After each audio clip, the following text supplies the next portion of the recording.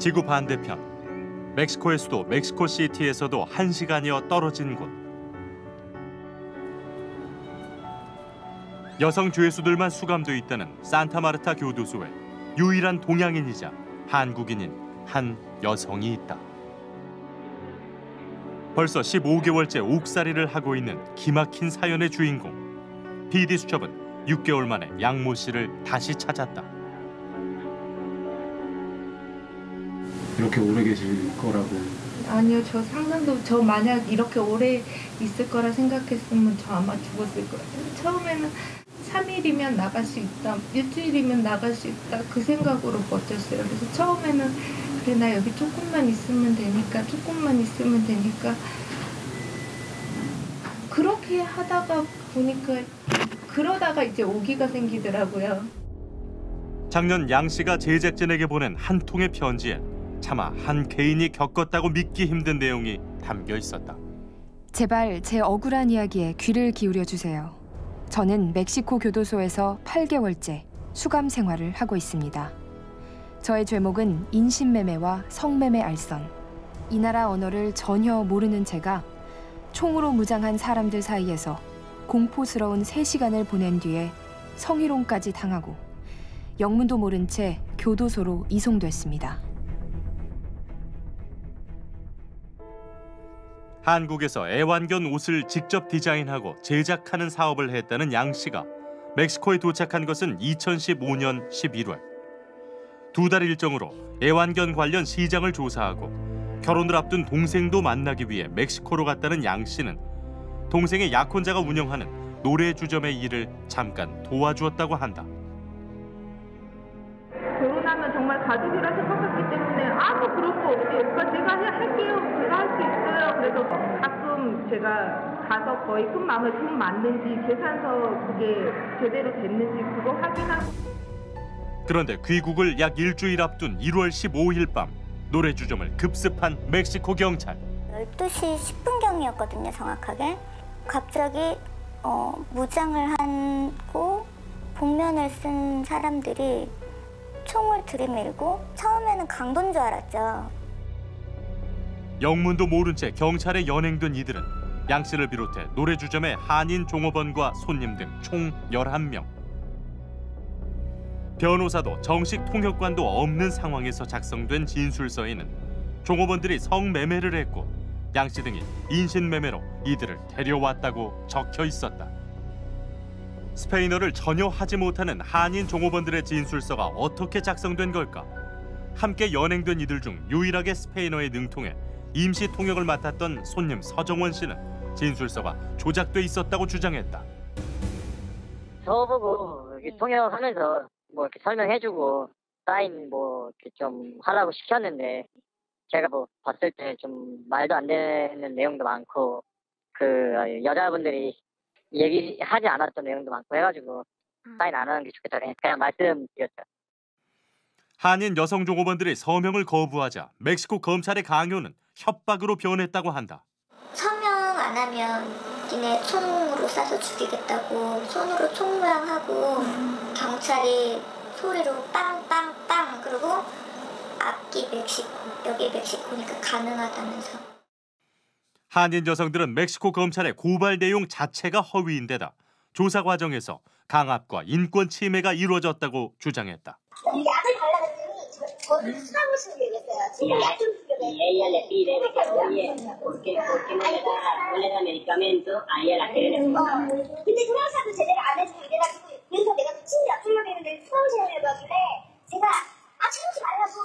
노약이야. 영상만 불러달라고 불러달라고 소리 소리 고래고래 질러가지고. 그래갖고 얘네들이 막 콧바람 불고 아뭐 이러고 성희롱 당하는 거 정말 그래서 계단 올라갈 줄 몰랐어요. 몰랐어. 검찰이 이렇게 무리한 수사를 진행한 이유는 뭘까?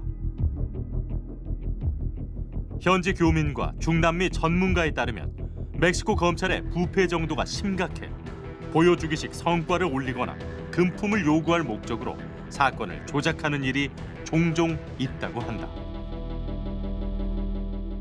제 생각에도 이것은 뭐 명백한 그런 그 인권 의 유린이 있는 그런 어떤 체포와 구금과 그다음에 소송 절차이고요.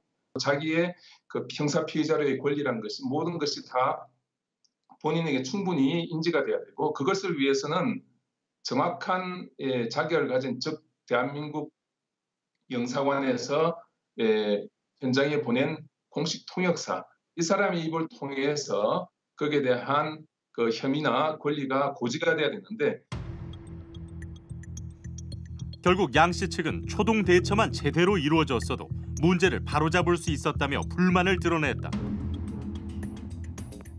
사건을 악화시킨 가장 큰 책임이 우리 대사관에서 나온 경찰 영사에게 있다는 것.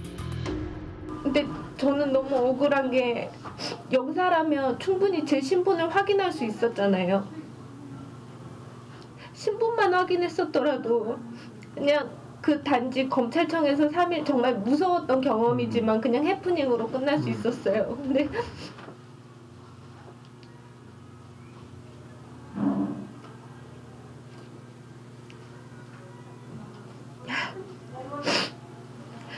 너무 너무 긴 시간 동안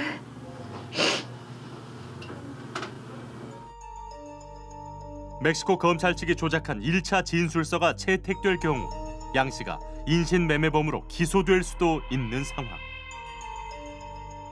종업원들은 이는 전혀 사실이 아니라며 1차 진술서에 사인할 수 없다고 버텼다고 한다.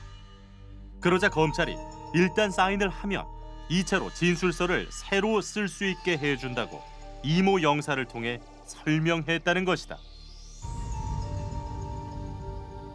다섯 분이 다 공통점으로 나왔던 게 2차 진술을 하는 이유 중에 하나가 이제 가장 그 큰 목적이 1차 진술을 본인들은 다들 영사님의 말을 믿고서 사인을 했다고 했었어요. 다 영사님이 미를 믿었, 말을 믿었기 때문에 그래서 그거를 사인하고 이게 다 파괴가 되고 번복이 될 줄 알았는데 그 1차 진술이 그렇게 과정이 안 돼서 자기네들이 그걸 다시 진술을 하려고 그때 왔다고 했었어요. 정식 통역 서비스를 받아 2차 진술서를 작성했지만 멕시코 법원이 채택한 것은 1차 진술서. 이는 양 씨의 인신매매 혐의가 받아들여지는 결정적인 증거가 됐다. 종업원들은 죄가 없는 양 씨를 풀어달라는 탄원서를 제출했지만 효과는 없었다. 결국 문제는 걷잡을 수 없을 정도로 커져 국정감사에서도 양 씨 문제가 거론됐다. 일부 그 저기 그 어, 부족했던 부분이 어, 있는 것으로 일단 보입니다. 저희 영사 제동포 영사 대사가 오늘 이제 멕시코에 또 출장을 가서 멕시코 관계 당국을 고위 당국을 접촉을 해서 신속하고 공정한 재판이 이루어질 수 있도록 지금 다시 한번 촉구할 생각입니다. 그리고 어느덧 시간은 흘러 6개월이 더 지났다. 제작진은 사건이 일어났던 멕시코를 다시 찾았다. 강렬한 태양과 여유로워 보이는 사람들. 양 씨도 누명을 벗고 자유로운 신분으로 돌아왔을까?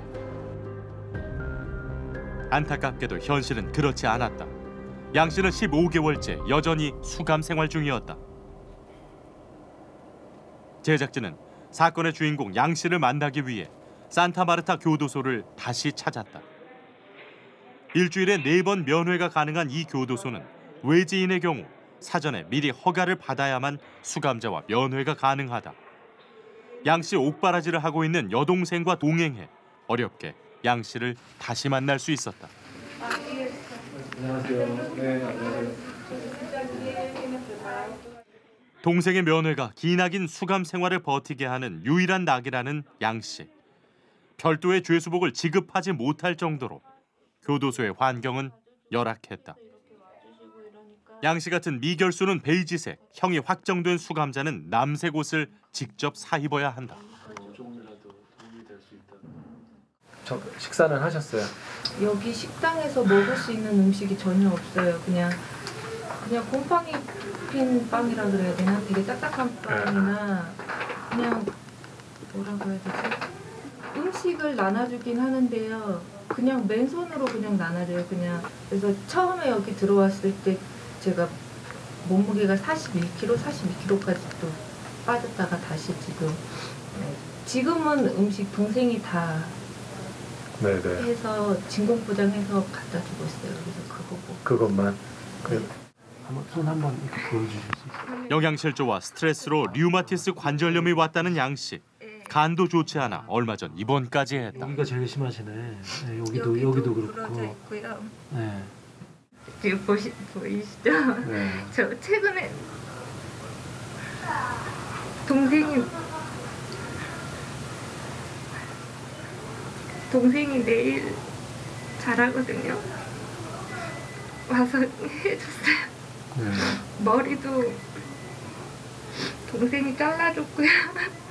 그렇게 요즘은 최대한 스트레스 안 받고 그렇게 지내려고. 여기서 그냥 몸 안 좋은 거는 밖에서 나가서 고칠 수 있으니까 그냥 정신만 똑바로 차리고 있자고 그것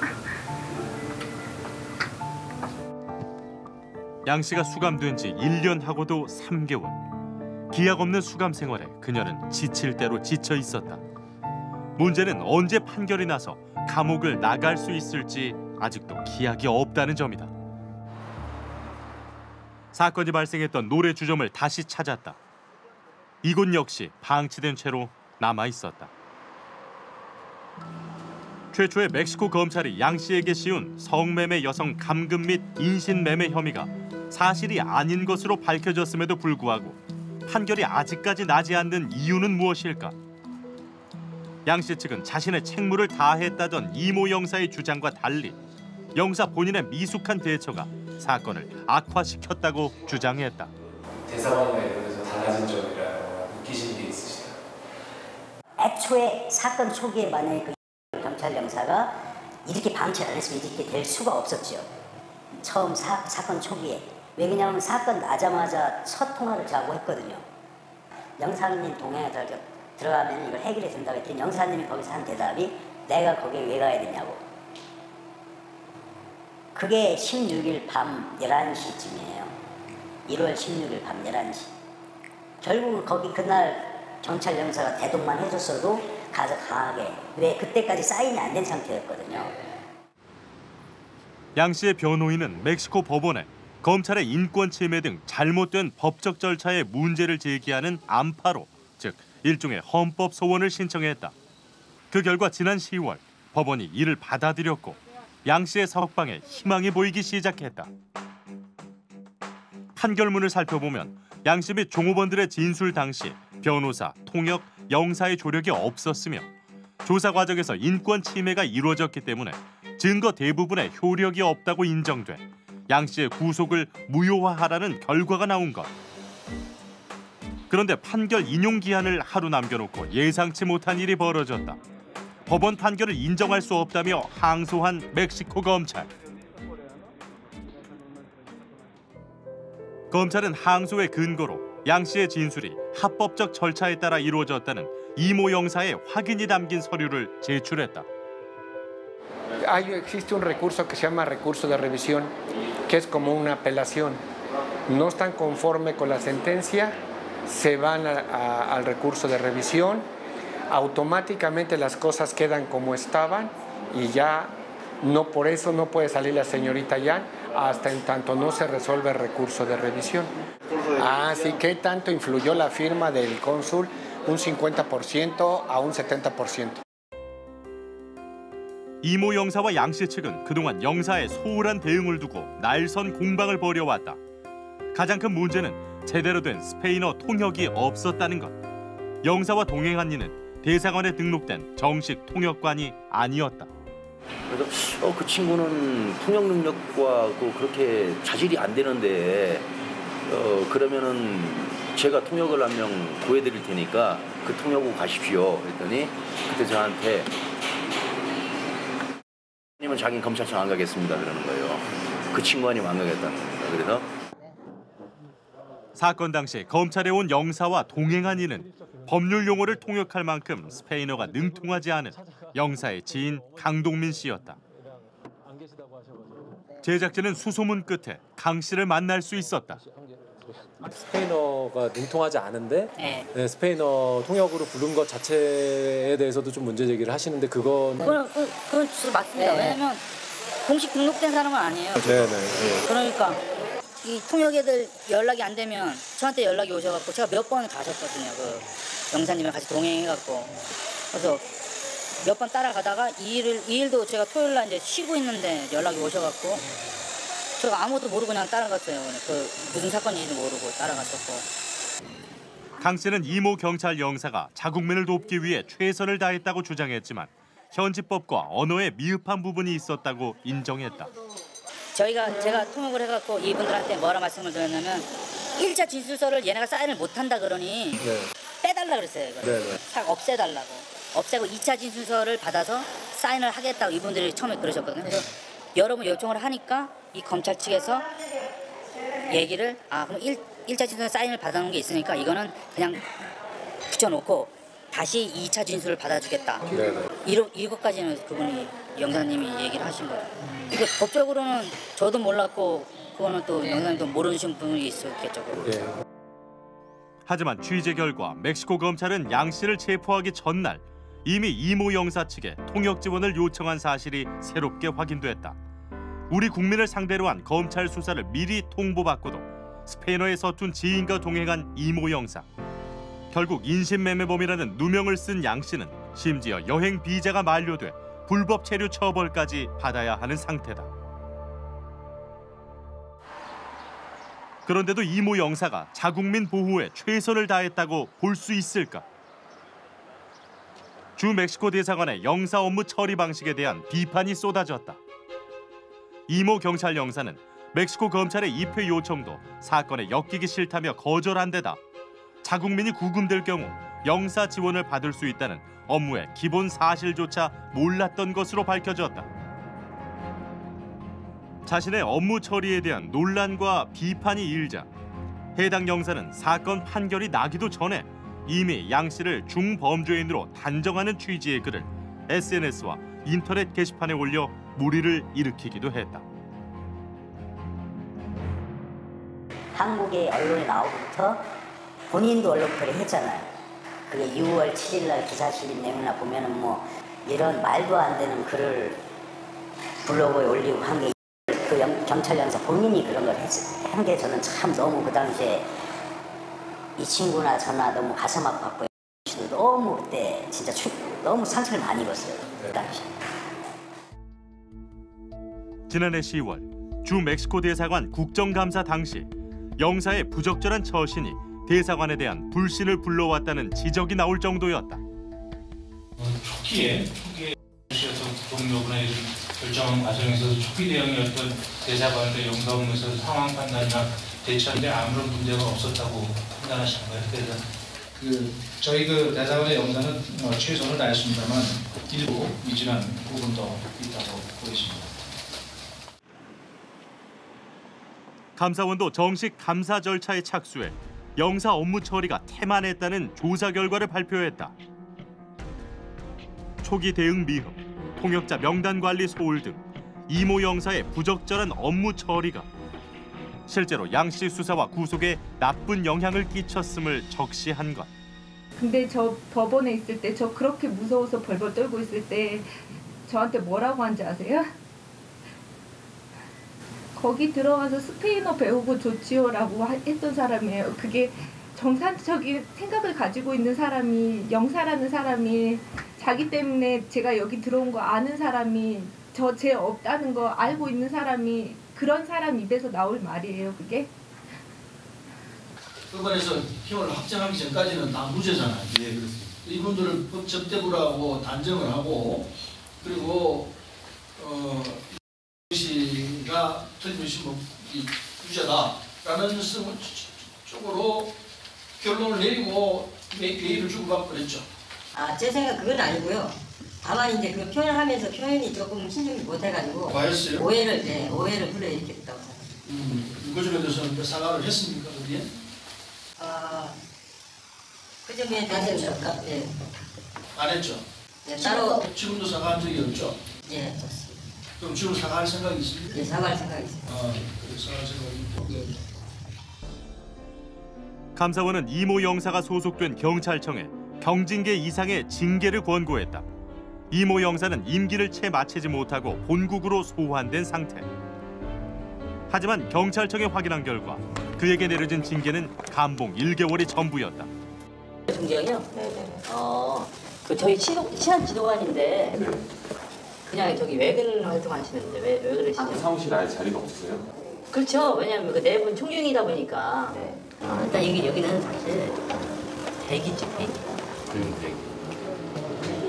관련 배경도 그러니까 이게 약간 음, 본인 입장에서 좀 불명예스러워. 아니에요 전혀 아니에요. PD수첩은 감사 결과에 대한 이모 영사의 입장을 확인하기 위해 여러 경로를 통해 수차례 인터뷰 요청을 했다. 하지만 이모 영사로부터 어떠한 답변도 들을 수 없었다. 감사 대상에는 멕시코 대사도 포함돼 있었다. 작년 3월 박근혜 대통령이 멕시코를 공식 방문했다. 하지만 당시 대사관이 오히려 이 문제를 쉬쉬하려 했다고 양 씨 측은 주장했다. 형이 이제 이걸 언론에 한국 언론에 계속 푸시를 하니까 그 당시가 이제 박근혜 대통령 전 대통령이 방문하기만 할 때인데 대성관에서 저희 변호사가 대성관 통해서 어떤 정보를 줬냐면은 한 2주만 언론 플레이를 하지 말고 기다려 달라. 네? 대성관이 지금 나름대로 노력할 테니까 언론 보도를 좀 자세히 해달라고 그런 통보를 받았습니다 그때 제가 알기로는. 네. 그, 뭐 그러고 나서 대통령이 다녀가고. 예. 그러고 변동된 게 아무것도 없죠. 이런 상황에서 멕시코 대사는 자신의 SNS에 박 전 대통령을 칭송하는 글들을 올렸다가 박비어천가라는 비판을 받기도 했다. 대통령이 마침 해당 국가를 방문하는 절호의 기회조차 양 씨에게는 아무런 도움이 되질 못했다. 대사관은 그 후 어떤 입장을 보였을까? 저희 대사관에서는 그 구속된 아, 양모 씨가 조속히 석방될 수 있도록 가능한 조치를 했습니다. 둘째로 현재 구속된 양, 아, 양모 씨가 또 수감 과정에 있어서 수감 환경이 개선되도록 저희 대사관에서는 최대한 노력하고 있습니다. 하지만 현지 국감 직전 처음으로 양 씨를 면회왔다는 대사는 공식 석상에서와 다른 모습을 보였다는 게 양 씨의 주장이다. 와서 하는 말이 조용히 있어라. 저 협박으로밖에 안 들렸어요. 조용히 있어라. 어? 뭐 정치인들이 와갖고 다 자기네들이 한 것처럼 하지만 정치인들이 한 거 하나도 없다. 어 내가 다 윗사람들 만나고 다녔는데 정치인들이 자기네들이 한 것처럼 그렇게 얘기한 거다. 그리고 다 쓸데없는 거다. 다 우리가 하는 거니까 씨는 그냥 조용히 있으라고 그렇게 얘기하고 가셨어요. 양 씨의 증언은 사실일까? 제작진은 직접 주 멕시코 대사관을 찾아 양 씨의 석방을 위해 구체적으로 어떠한 조치를 취하고 있는지 물었다. 금년도 2월 14일 날 음, 대사님이 헌법소원 항고심 재판장과 면담을 했습니다. 네. 신속한 심리와 우호적인 고려를 요청했고요. 재판장은 이에 대해서 연방법원에 기희 접수하여 심리하는 사건이 80여 건이 되고 양 씨 사건의 경우 사건 기록 분량이 많아서 검토하는데 상당 기간이 소요되고 있다고 했습니다. 네. 그럼에도 불구하고 헌법소원에 관한 법률이 정한 기한 내에 판결을 내리겠다고 약속한 바 있습니다. 네.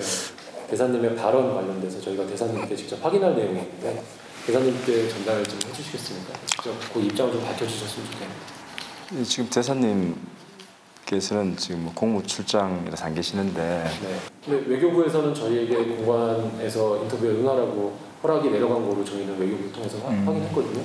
더 전달해드리겠습니다. 네. 양씨 구명 활동에 대한 인터뷰 요청에는 무대응으로 일관하던 멕시코 대사는 자신의 언행에 관한 질문에는 이틀 만에 즉각 답을 보내왔다. 양 씨의 구명을 위해 최선을 다하고 있다고 한 이야기가 와전됐다며 유감을 표해온 것. 어, 외교관들의 기본적인 멘탈러티는 외무고시를 거친 아주 엘리트들인데 어, 이런 정무적 측면이 아니라 매일같이 일어나는 그런 사건 사고를 접해야 되는 상태가 되고 그러다 보니까 그 문제에 대해서 사실 거기까지 마음이 안 와닿는 거죠. 그 본질적인 정무, 그 통상 안보 문제들과 영, 영사관계, 자국민 보호 문제들을 본질적으로 분리하지 않으면 이런 문제들은 아마 어, 계속 되지 않을까 생각을 합니다. 제작진은 양씨 측의 변호인과 함께 법원을 찾아 공판 기일을 직접 확인해 봤다. 예정대로라면 5월 3일 전에 열려야 할 공판 기일이 아직도 잡히지 않은 상태. 미뤄진 항소심 재판이 언제 열릴지는 또 일주일 후에나 알 수가 있다. 양 씨의 막연한 기다림이 더 길어질 판국이다. 진짜 저는 아, 진, 저는 진짜 평범한 사람이거든요. 근데 저한테 이런 일이 있을지는 진짜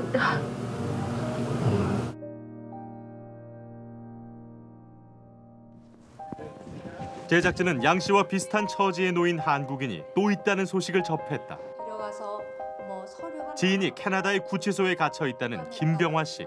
제가 그 말씀드렸 저 참 많이 울었어요.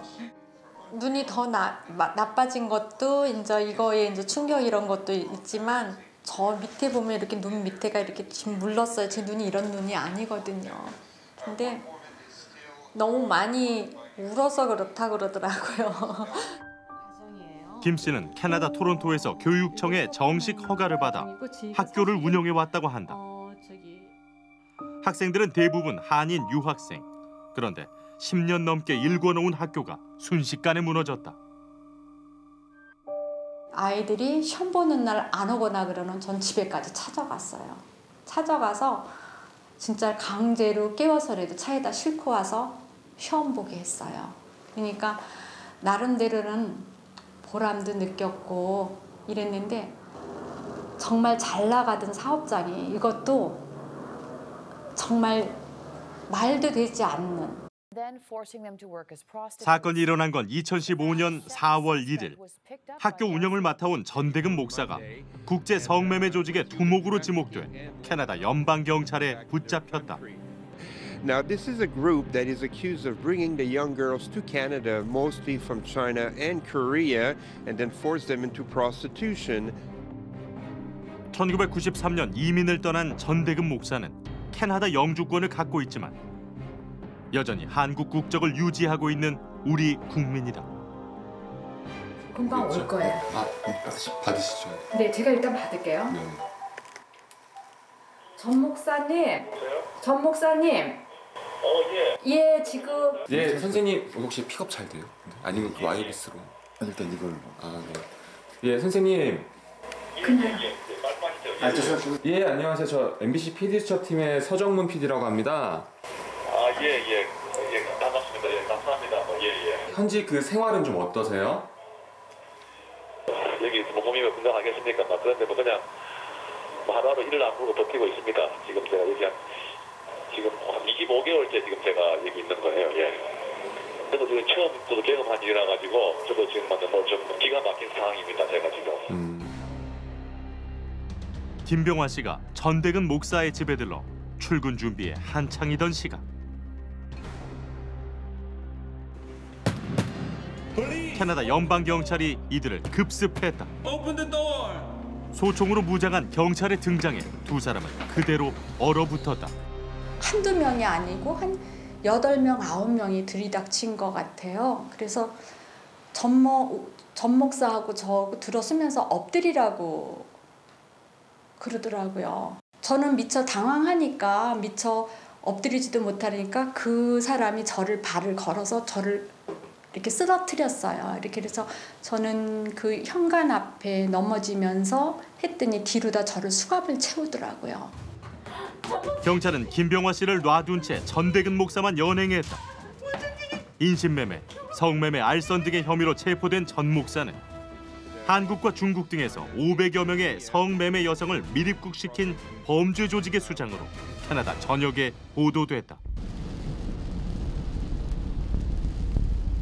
PD 수첩은 토론토 현지를 방문해 사건의 실체를 확인해 보기로 했다. 토론토 중심가에 위치한 한 빌딩. 이곳이 전대근 목사가 체포되기 직전까지 근무했던 학교라고 한다.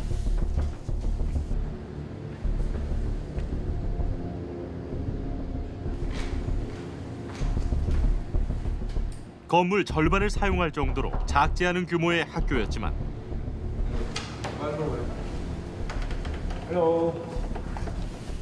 지금은 텅 비어 있다. 학교가 범죄에 연관되어 있다고 본 캐나다 연방 경찰이 관련 서류와 컴퓨터 등을 압수하는 바람에 학교 운영이 불가능해진 것이다. Uh, I'm looking for Northern uh, Northern Light College. Northern. Do you know Northern? They're out of business. The out of business. Yes, and they've been sued. Are being sued? Well, I think so. Well, oh, they've got police action or something. Oh. 전대근 목사는 이 학교에서 비자 상담 및 학생 관리를 맡아왔다고 한다. 그 학교에 실장으로 모든 일을 다 했죠 학교에. 노던 라이트 칼리지에 모든 일을 거의 다 했어요. 오면은 입학 서류 내고 또 등록금 내면 교육부 신청해서 비자를 신청해 주고. 어느 학교든지 그걸 안 해주면 안 됩니다. 다 합니다 그런데 15년간 같은 일을 해온 그가 왜 순식간에 범죄 조직의 두목으로 전락한 걸까? 성매매를 하다가 적발된 한 한인 여성의 입국 경로를 수사한 캐나다 연방 경찰.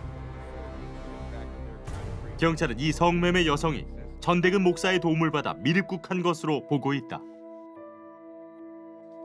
캐나다 경찰이 전 목사를 체포하게 된 배경은 무엇일까? 그 학생들이 뭐 학생 비자나 관광 비자 같은 의뢰 있으면 그걸 도와주기도 하고 학교 등록을 시키기 위해서 그 다음에 어, 학생들이 콘도를 구하기 힘들으면은 진영 진영이 문제가 있으면은 제가 혼자 그 학생들한테 학교 차원에서 그 학생들 콘도도 구해주기도 하고 어, 지금 그한 군데에 그 성매매 한 여성이 살고 있어가지고 아마 이게 발단이 된 걸로 알고 있습니다. 예. 그 목사님은 그 여성분이 성매매 여성이라는 걸 알고 계셨나요? 저는 그 잡히고 와서 다 알게 됐죠. 그렇다면 전 목사가 해온 업무 자체에 문제가 있었던 건 아닐까? 제작진은 캐나다 현지의 유학원을 통해 확인해 보기로 했다. 그 학교에서 이렇게 비자 관련 업무도 좀 해주실 거예요? 학교에서도 하죠. 학교에서 해요? 내가 학교 운영하는 입장에서 나는 모르지만 멀쩡하게 생긴 사람이 갑자기 와가지고 나 학교 다니겠다. 근데 사실은 학교를 다니려는 게 아니라 어떻게 보면 그냥 체류만 늘리고 싶은데 근데 학교 입장에서는 공부하러 왔다 그러니까 그냥 어 그런가 보다 하고 받아줄 수밖에 없는 그런 상황이 될 수도 있는 거죠. 홀로 타국의 감옥에 남겨진 지 25개월. 인신매매 혐의는 겨우 벗었지만 그동안 한국 정부의 도움은 없었다는 전 목사. 사건 초기에 대사관이 움직였다면 결과는 조금 달랐을까? 전 목사가 현지 영사를 처음 만날 수 있었던 건 그가 체포된 지 무려 6개월이 지나서였다. 어, 처음에는 버려진 사람이었고요. 어, 작년 10월 이후에 그 그때부터는 어, 대사관에서 조금 어, 도움을 주었습니다. 그러니까 처음에 버려진 사람이었다는 게 무슨 의미시죠? 어, 나, 나보고 왜 시민권을 안 받았냐고 보통 이게 프론트에 오- 오래 살게 되면 다 시민권 받는데 왜 시민권을 안 받냐고 나보고 안 받았냐고 나보고 그러더라고요. 그러니까 왜 캐나다 시민권을 안 받았냐? 예예. 뭐 그런 이야기를 해서 어, 이분이 이, 내가 괜히 나 괜히 시민권 안 받았다 귀찮게 하나 네, 그런 느낌을 좀 받았습니다. 예. 영사는 왜 전 목사를 처음 만난 자리에서 그의 국적부터 따졌을까? 양식권 단지가 그렇게 좀 오래되셨으면은 시민권을 혹시나 신청하지 않으셨는데 시민권을 따지는 않으셨습니까?라고 이제 여쭤봤죠. 네. 네, 그러니까 본인은 시민권은 이제 신청하거나 뭐 딴 적이 없다라고 말씀을 하시더라고요. 제 전대 목사님께 말씀드린 바로는 그 체포 네네. 당시에 시민권 획득의 거의 마지막 절차까지 가셨다고 말씀을 해주셨는데 목사님께서 저는 시민권을 신청한 적이 없다는 말씀을 하셨다는 거죠, 영사님께. 아니 아니 신청한 적이 없다고 말씀하신 게 아니라 어, 방금 그렇게 말씀하셨죠. 제가 이제 말을 말 한 마디 한 마디에 저기 그렇게 저기 그 얘기하시면 좀 제가 곤란하고요. 네네. 재외 국민은 해외에서 장기적으로 거주하고 있는 교포뿐 아니라 해외에 머물고 있는 모든 대한민국 국적 보유자를 뜻한다. 해외로 나가는 여행객이 매년 사상 최고치를 경신하는 요즘 사건 사고에 휘말려 피해를 보는 국민도 늘고 있다. 지난해 1월 태국에 갇혀 있던 아들을 누구보다 애타게 기다렸다는 문 씨. 태국에 홀로 남겨졌던 아들은 46일이 지나서야 한국 땅을 밟을 수 있었다. 현재서 좀 어떤 점이 제일 힘드셨습니까? 기억이 없는 게 제일 힘들었죠. 언제 들어야지 뭐 날짜도 모르고 어디 연락 오는데 아무 데도 없고 그것 때문에 제일 힘들었거든요. 힘들 때 어떤 생각하면서 좀 버티셨어요? 그냥 한국 갈 수 있다라는 생각.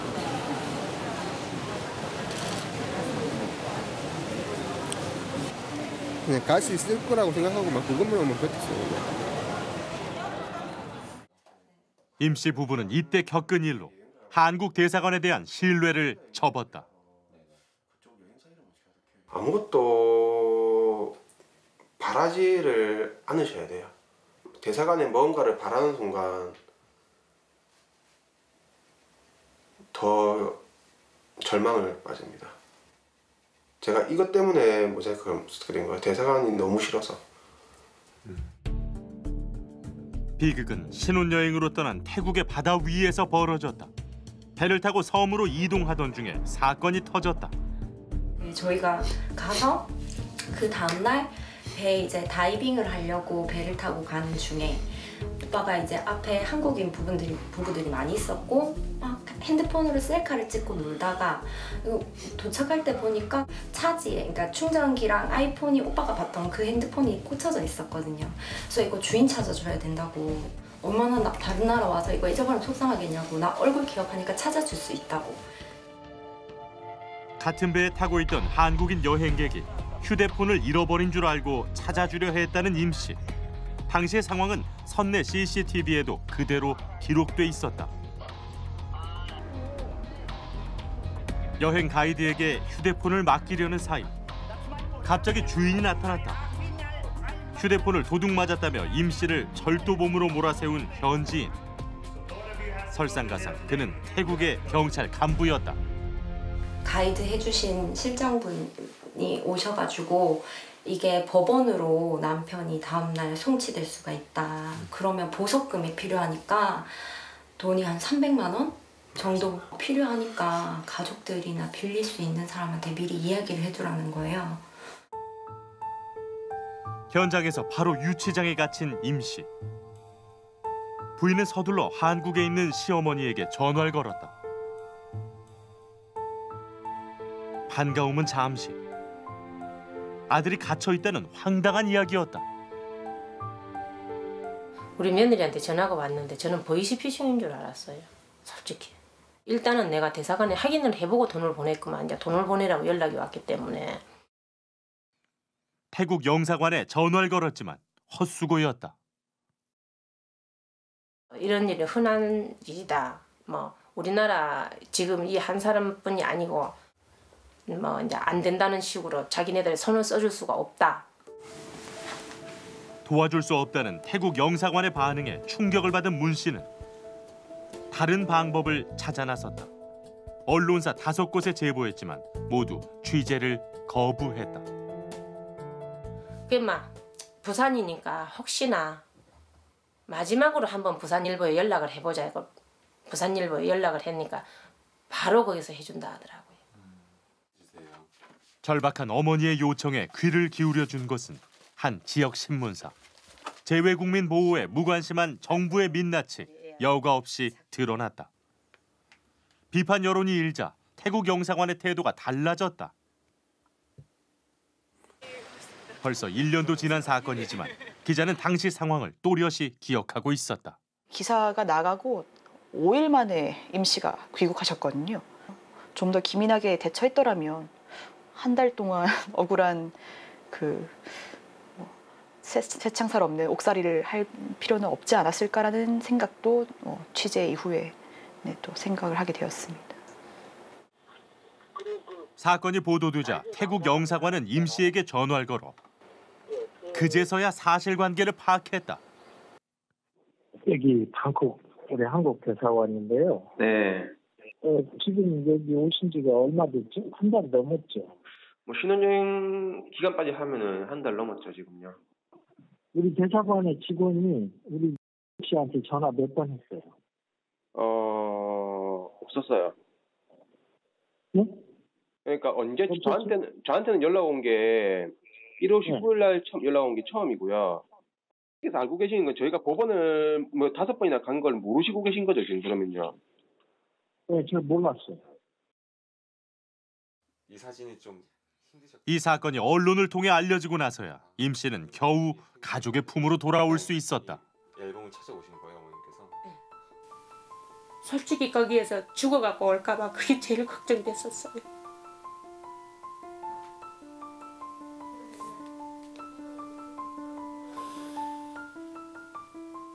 그 나라에서 사고 사건이 났는데 영사관에서 여- 그 대사관에서 안 도와주면 누가 도와주느냐고 우리나라 그럼 우리나라 사람이 가서 잡혀 있으면 누가 도와줄 거냐고 그러니까 우리가 힘이 없어서 우리나라 자체가 힘이 없어서 못 도와준다는데 막.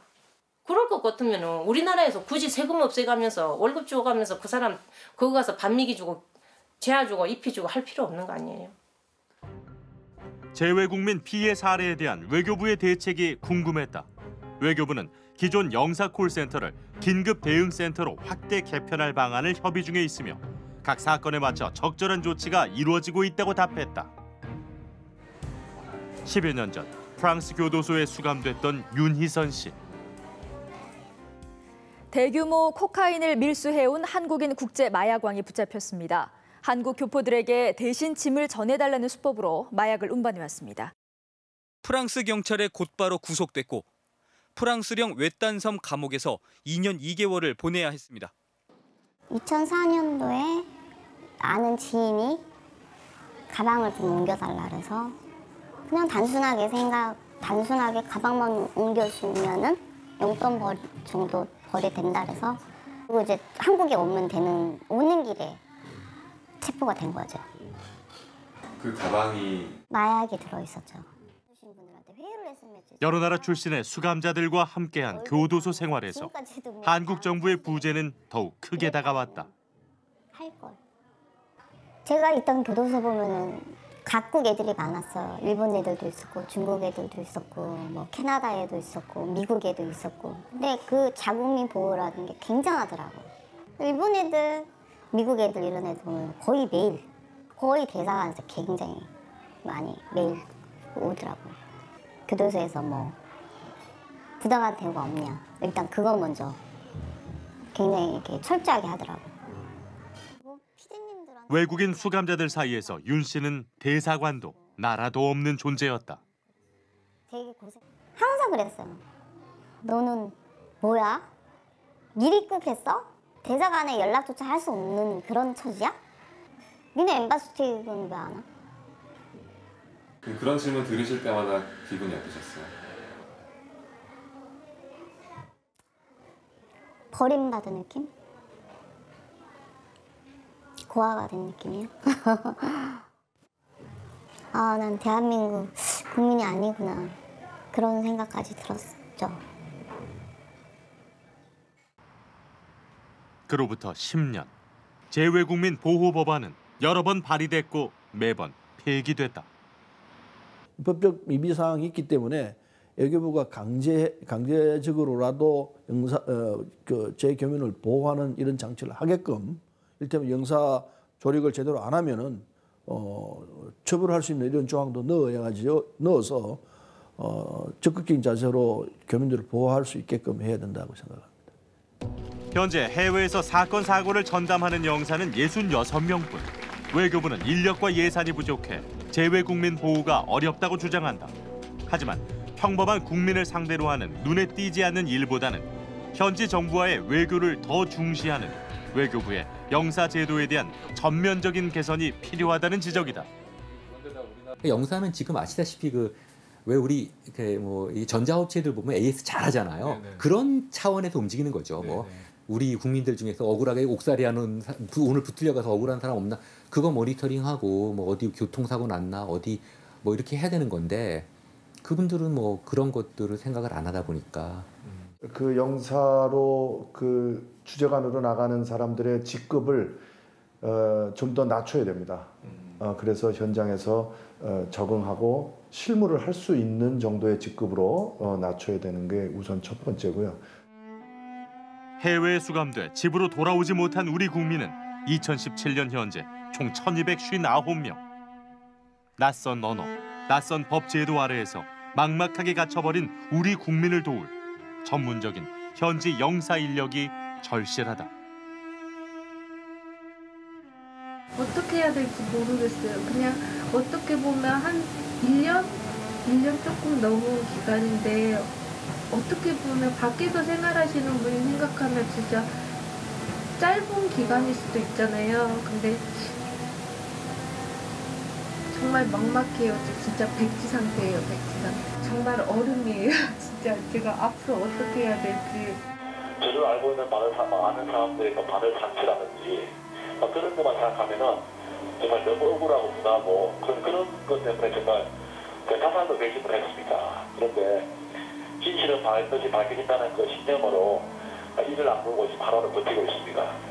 가장 효과적으로 이 재외국민 보호에 나설 수 있는 것은 외교부 그리고 그 해당 영사관 대사관들이겠죠 외교관들이겠죠 미우나 보호나 내가 나서서 보호하지 않으면 보호를 해줄 사람이 없다라는 그런 좀 적극적인 생각들 후견자적인 생각들을 반드시 하셔야만 어, 그 업무 처리에 있어서도 좀 더 적극성이 생기고 그럴 것 같습니다. 국가는 대한민국 국적을 가진 이들이라면 어느 나라, 어느 곳에서든 이들을 보호할 책임과 의무가 있다. 국가의 도움이 절실한 이들의 목소리가 더 이상 외면받지 않길 희망한다.